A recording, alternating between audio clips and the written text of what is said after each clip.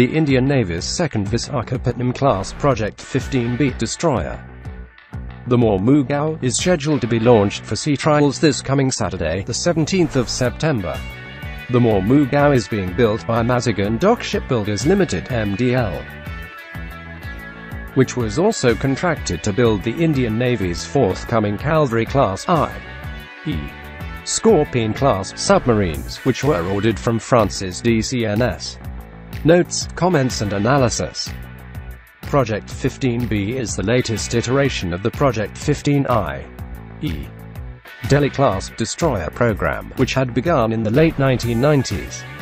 The objective of the Delhi-class destroyer was to arm the Indian Navy with a robust and capable multi-mission surface warship, which was reflected in the platform's eventual armament which is centered on 16 Kh-35 anti-ship missiles via quad-cell launchers, as well as a credible short and medium-range air defense system alongside standard 100mm main gun and other weapons.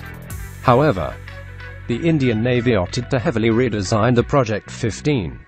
And the result was the Kolkata class, or Project 15A. The Kolkata class was designed with a strong emphasis on low radar cross-section RCS principles, which make for reduced radar, acoustic and infrared I.e. heat signatures.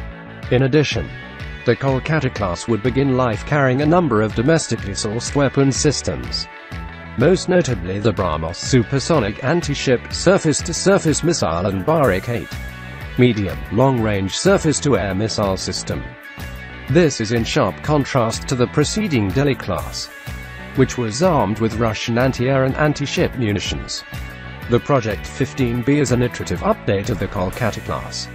More so than what the Kolkata class was to the Delhi class which was a more significant shift. That said, the Project 15B line of ships will see further improvements in RCS reduction as well as offensive capabilities, especially with the eventual inclusion of the Nirbhay land attack cruise missile. The Project 15B's lead ship, the Visakhapatnam, was launched in April of last year.